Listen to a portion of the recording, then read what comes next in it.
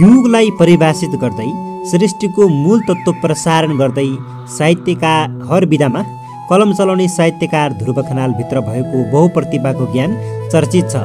नेपाली साहित्यमा मात्र नभई विश्वको साहित्यमा समेत नजर लाउने साहित्यकार ध्रुव खनाल साहित्यिक त्याग र जीवनयात्राका उकाली ओह्रालीमा खनालका लेखन र वाचनले साँच्चै विश्वास दिलाउँछ।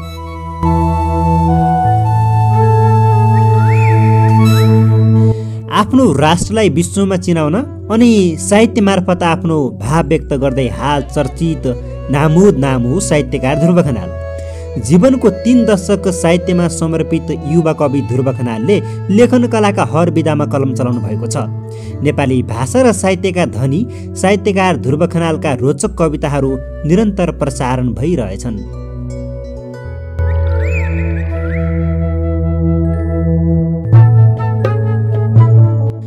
शब्दलाई शक्तिमा र साहित्यलाई साधना जस्तै निरन्तर रूपमा आधा दर्जनभन्दा बढी साहित्यिक कृति लेख्ने साहित्यकार ध्रुव खनाललाई आगामी दिनमा पनि नयाँ नयाँ साहित्य मार्फत मनोरञ्जनात्मक र ज्ञानवर्धक साहित्य लेख्नुहुन्छ भन्ने तर्कमा हामी पूर्ण विश्वस्त छौँ।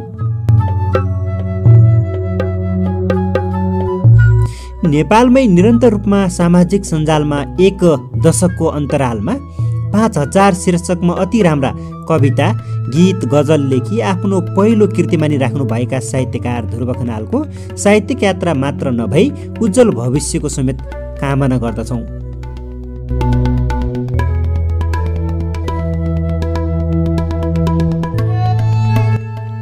लेखन यात्राको तिन दशकभित्र डेढ दर्जनभन्दा बढी पुरस्कार प्राप्त गर्नुभएका अनि आधुनिक साहित्य लोक साहित्य मात्र नभई समसाहित्य र शास्त्रीय साहित्य समेत रचना गरी पाठकको मन जित्न सबल र सफल साहित्यकार ध्रुव खनाललाई एक दिन राष्ट्रले मात्र होइन बढीभन्दा बढी साहित्य लेख्ने साहित्यकार ध्रुव खनाललाई एक दिन आफ्नो कीर्तिमानी राख्न सके विश्वले चिनेर Guinness book of the world रेकर्डको खाली पानामा नाम नदेखिएला भन्न सकिन्न।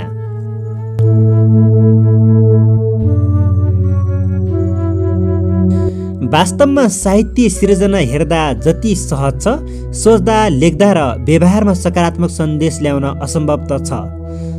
अहरात मेहनत गरेर ताजा साहित्य फेसबुक युट्युब र पुस्तकमा समेत सजिलै प्रसारण गर्ने साहित्यकार ध्रुव खनाल बहुप्रतिभाको धनी मात्र होइन एउटै व्यक्तिभित्र साहित्यका हर ज्ञान हुन दैवी वरदान पनि हो भन्दा फरक नपर्ला।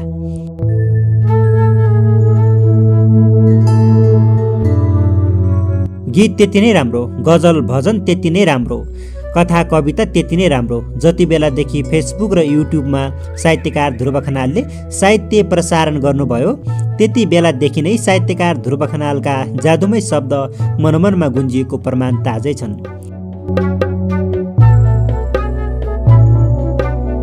शब्द मेटिएला तर इतिहास कहिले मेटिँदैन। विचार बदलिएला तर समय बदलिँदैन।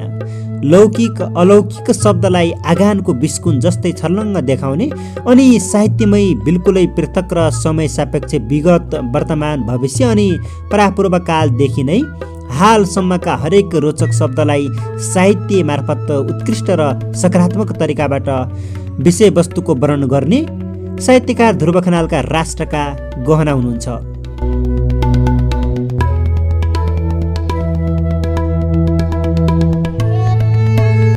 असम्भव भन्ने केही छैन।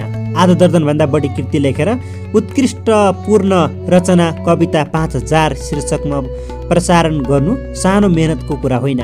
साहित्यकार ध्रुव खनालका हर रचना कुनै प्रतिष्ठानले हेर्ने हो भने साहित्यकार ध्रुव खनालका साहित्यभित्र शब्द मात्र होइन नौलो संसार पनि देखिन्छ।